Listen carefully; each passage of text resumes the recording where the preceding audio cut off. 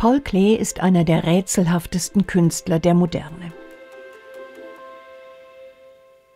Selbst wenn man weiß, dass dieses Gemälde mit dem Titel Fruchtland Ägypten darstellen soll, die Wellenlinie am unteren Bildrand den Nil, die Streifen, die fruchtbaren Felder des Niltales, so fragt man sich doch, warum dieser Bildaufbau? Warum diese seltsame Mischung aus Naivität und Geometrie?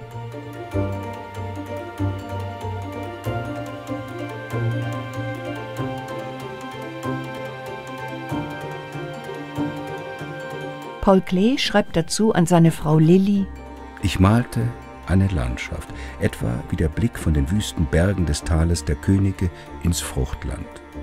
Die Polyphonie zwischen Untergrund und Atmosphäre ist so locker wie möglich gehalten.